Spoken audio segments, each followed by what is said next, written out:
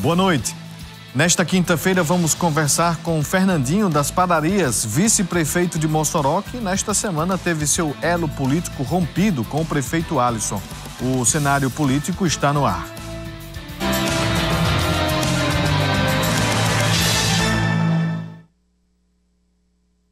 Iniciando mais uma edição do seu cenário político, seu programa que traz as informações do mundo da política de Mossoró, do Rio Grande do Norte, do país, de segunda a sexta, ao vivo aqui na sua TCM 10 HD. Hoje a gente recebe um dos personagens né, que movimentou a política de Mossoró nesta semana. Fernandinho, da Casa das Padarias, está aqui conosco. Abre aqui para mostrar o Fernandinho. Vai falar sobre política, vem trazer aqui informações sobre o que aconteceu com rompimento esta semana com o prefeito Alisson Bezerra. E você de casa pode participar, os contatos estão aparecendo aqui na tela e você manda mensagem através do facebook.com barra cenário político TCM, tem o nosso Twitter, arroba cena político TCM, tem também o nosso Instagram, arroba cenário político TCM e o WhatsApp 98802 8979. Tem também informação de uma pesquisa fresquinha que acabou de ser divulgada pela CDL Mossoró. A Câmara de Dirigentes Logistas convocou uma coletiva de imprensa para a tarde desta quinta-feira, repassou informações sobre números da economia, mas é, que são importantes, né? mas nos interessa principalmente aqui no nosso programa, os dados que foram divulgados com relação à avaliação do presidente Bolsonaro, da governadora Fátima, do prefeito Alisson Bezerra, além dos nomes que aparecem para a Câmara Federal, Assembleia Legislativa e Senado Federal. Nós vamos falar ainda na edição desta quinta-feira, ao vivo, vamos trazer os números eh, com exclusividade aqui no cenário político. A gente agradece desde já aí a CDL Mossoró, através do presidente Estênio Max, nosso parceiro aqui da TCM, do cenário político. Falando de uma questão que foi levantada ontem aqui no nosso programa, e eu prometi trazer mais detalhes hoje o contrato para funcionamento da UTI pediátrica com a atual prestadora de serviço não será renovado e a prefeitura informou que outra empresa vai assumir. A questão tem gerado polêmicas sobre a continuidade do serviço e a qualidade da oferta. O funcionamento da UTI pediátrica voltou a estar no centro da polêmica essa semana. Isso porque a prefeitura não renovou o contrato com a atual cooperativa médica responsável pelos plantões, a Neoclínica. Isso gerou questionamentos sobre a continuidade do serviço. A UTI pediátrica do Hospital Wilson Rosado conta com sete profissionais, pediatras intensivistas, que atuam em regime de plantão. A questão é que segunda-feira encerra o contrato com a Neoclínica, dia 27, e até agora não foi enviada uma escala. Por lei, essa escala precisa ser encaminhada para a definição dos trabalhos um mês antes. A médica Marina Targino é dessas que compõem o plantão como pediatra intensivista e atua como uma profissional diarista na UTI pediátrica. Exercemos aqui esse trabalho né, há quase nove anos, desde 2013. E eu sou diarista, né, sou a médica, a pediatra que vem todos os dias. E a gente só vai estar continuando até 27. E a gente é, tem realmente esse receio, né? Não sabemos ainda, né, de quem vai continuar.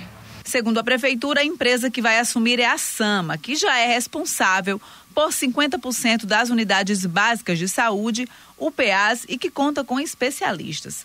Questionamos a secretária se havia médico pediatra para compor a escala de plantão.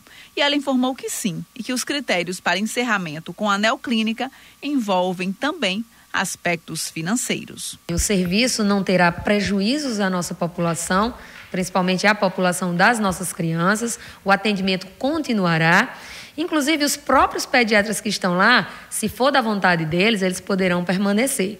Mas a SAMA, a empresa que hoje presta serviço médico ao município, tem sim outra equipe de médicos pediatras para substituí-los.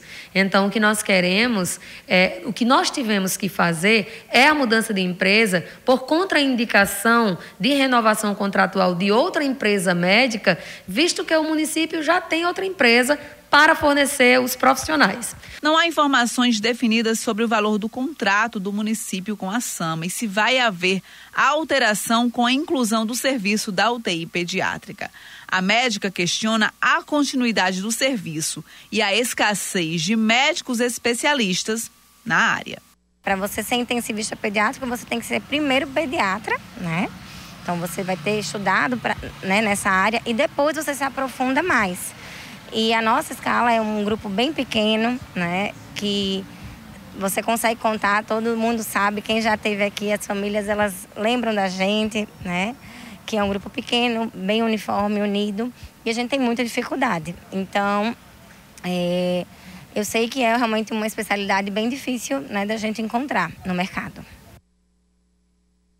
Tá aí. Na tarde de hoje, o Ministério Público do Rio Grande do Norte publicou uma recomendação à Prefeitura de Mossoró para que adote toda e qualquer medida necessária ao funcionamento ininterrupto da UTI pediátrica do município, evitando a descontinuidade dos serviços, sobretudo com a manutenção de profissionais intensivistas pediátricos e médicos pediatras habilitados para compor as respectivas escalas a partir de 27 de dezembro, de segunda-feira, data em que serão encerrados os contratos dos médicos habilitados, sob pena de responsabilização civil e criminal diante de eventual dano à saúde de crianças usuários do Sistema Único de Saúde.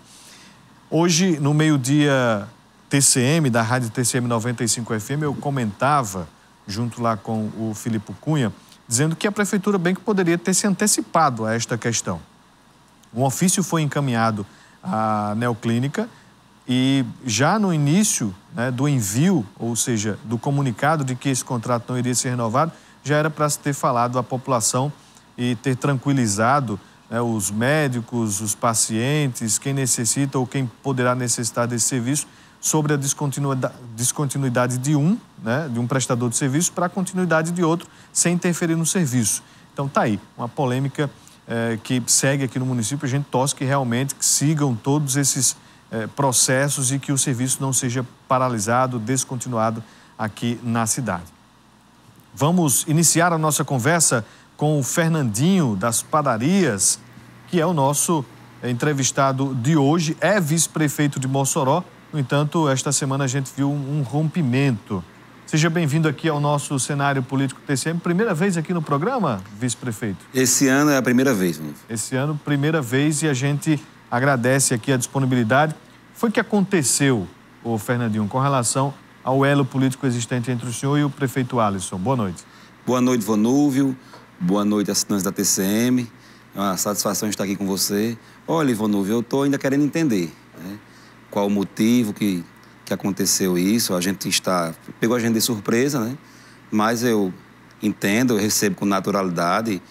Eu estou muito tranquilo e dizer ao povo de Mossoró que nós continuamos aqui na luta, na batalha por dias melhores. Existe aí algo que fica das eleições de 2020, algum combinado entre o senhor e o prefeito que não foi cumprido durante este primeiro ano de mandato? Olha, da minha parte, não tem um, não tem um, como posso dizer, questão de combinado, né? A gente conversava muito sobre política em algumas decisões na campanha, quando a gente conversava sobre as eleições desse ano e a gente tinha algumas conversas, mas a gente vira a página e continua em frente e a gente assim vai seguindo. O rompimento foi sacramentado depois ali da exoneração de todos os seus auxiliares do gabinete. Quantos foram exonerados e o que, que isso representa? Olha, foram exoneradas seis pessoas, era é, é o nosso staff do gabinete, né? E a gente, como disse você, foi surpresa para a gente. A gente não, não esperava isso, não, até então eu nunca dei nenhuma declaração, eu sempre defendi e continuo defendendo. Eu não tenho nenhuma mágoa do prefeito, eu estou aqui para dizer ao povo de Mossoró que eu estou querendo entender até agora, né? Queria saber de público qual o motivo, se eu fiz alguma coisa que desabonasse minha conduta ou alguma coisa que atrapalhasse a gestão, né? Que da minha parte, eu até agora não estou entendendo, Vonulfo. A gente vai falar mais sobre política com o Fernandinho, que se coloca também como pré-candidato a deputado estadual. Será que foi isso? Próximo bloco questiono aqui o vice-prefeito. A gente volta já já.